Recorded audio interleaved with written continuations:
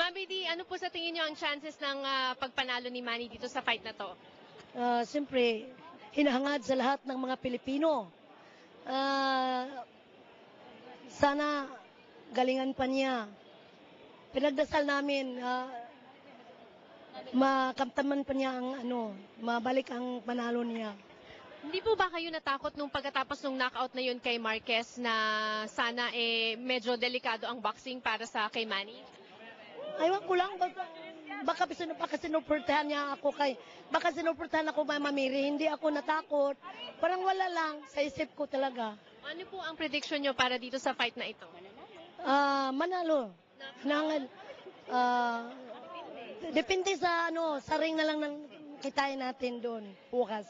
And finally, ano po, ah, pa, pa- paano nyo po pinagdadasal si Manny? Ano pong dinadasal nyo sa Diyos tungkol kay Manny? O, siyempre naman, magdasal ako, ako lang isa sa kwarto ko. Pinagdasal ko talaga nga, sana walang mangyari sa kanilang dalawa. Ah, sana ibigay niya ka, ni Manny ang panalo para masaya ang lahat ng Pilipino. Sambayan ng Pilipino, masaya lahat.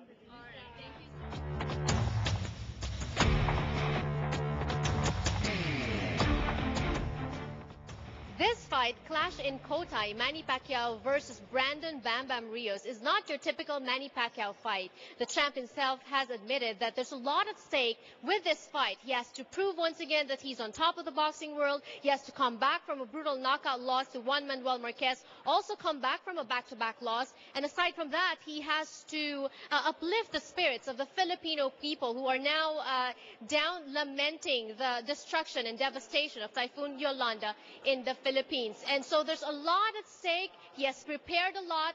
The coach, the trainers, Team Pacquiao have been helping him prepare physically. But how is he preparing mentally and psychologically and spiritually? Yesterday, we caught up with the champ himself inside his suite here at the Venetian Hotel. Another fight. Gano'ng kaiba itong laban na to sa mga ibang laban mo in the past? Pareho lang. Suntukan sa taas ng ring. Hindi, joke lang. Um, ibang laban ito kasi unang una, dalawang beses tayo na na sunod-sunod yung talo natin. Kailangan nating makabawi. Kailangan nating bumangon ulit. At ito yung pagkakataon, ito yung chance natin na maibalik natin yung pangalan doon sa taas. Jinky, I saw you nung, um, nung na-knockout si Manny. Talagang pati ako naiyak, no? Yung feeling na yon. Nakalimutan mo na ba yung feeling na yon? Or iniisip-isip mo pa ba? O tinatago mo na in the back of your head na, you know, yung danger ng sport ni Manny? Tinago ko na at the back of my head. Siyempre, ayaw ko nang iisipin yun. At saka, hindi ko na rin siya iniisip din. Um, ang ina, inaano ko lang, na, ah, ngayon na na-witness ko naman yung ensayo niya, yung focus niya sa training, so I'm confident na nakaya niya. Napaka swerte ni Manny, ang wife very supportive. Ah, sabi nga nila, behind a great man is a great woman. Manny, in all these years na pagsasama niyo ni Jinky, paano ka nasuportahan ng asawa mo? palagi, tuto, tutulo suporta yan. Nasa likod ko palagi. May kasabihan yan tayo, eh, in every success and downfall of a man, there's a woman behind. Paano mo siya tinulungan? Paano mo siya tinulungan? Paano mo siya tinulungan sa pag-prepare niya for this fight? Um, Siyempre, yung, yung support na yung time ko, ah, kahit na in spite of my busy schedule, kasi siyempre, meron din akong ah, work, and then may mga anak ako na inaalagaan. Um, I'll see to it na may time din ako para sa kanya. Yun. Manny, in the past I've asked you predictions for the fight and you've always said na ayaw mong mag-predict.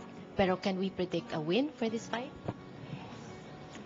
Yan yung, I believe that na mananalo tayo. Um, in Jesus' name, um, all things are possible with God. Pero hindi natin alam kung ano mangyayari doon. Are we, um, I spoke to Mommy D kanina. Sinabi niya na hindi na raw siya natatakot. Kampante daw siya dito sa laban na to. ah, dahil siguro daw sa pagdadasal niya kay Mother Mary, binibigyan siya ng peace. Do we still call on Mother Mary? Kay Jesus, Jesus tayo, Jesus. Jesus, Jesus, Jesus.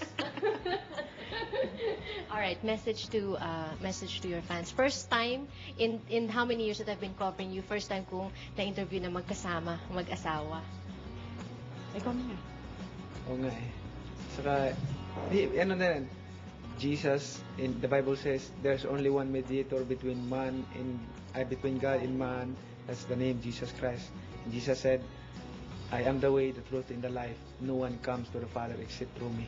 So Jesus, Jesus. So, Manny, uh, boxer na, pastor pa?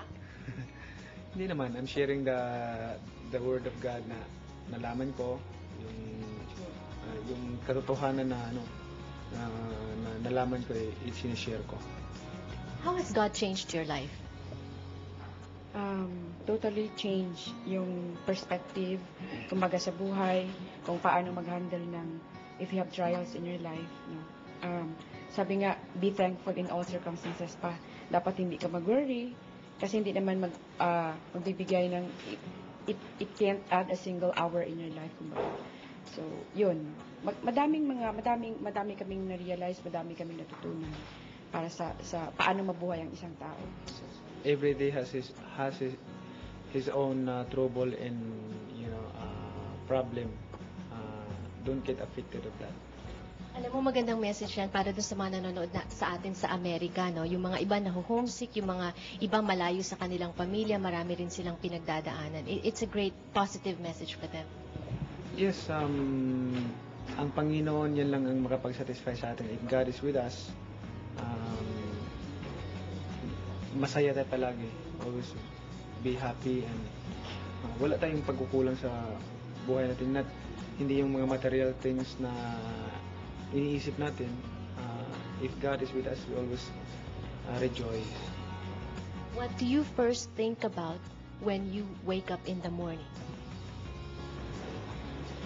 um, God, thanking God for another uh, beautiful and blessed day for me and strength that He gave it to me. Um, yan kailangan, importante. God first before everything, no? Everything else na bago mo gawin because God said, um, the Bible says, uh, what people value highly is detestable in God's sight. And also blessings of a family. Uh, more, more another child on the way. Yeah. This is the fifth already. Pero hindi pa namin alam kung ano, boy or girl. But it's another blessing for us. Blessing from We're happy. Thank you. That's Manny Pacquiao for you, a true boxing champion and a true Filipino role model, prioritizing family and faith above all. But will this help him regain the glory that some people think he may have already lost due to his back-to-back losses? We'll find out when we return on the show. Don't go away.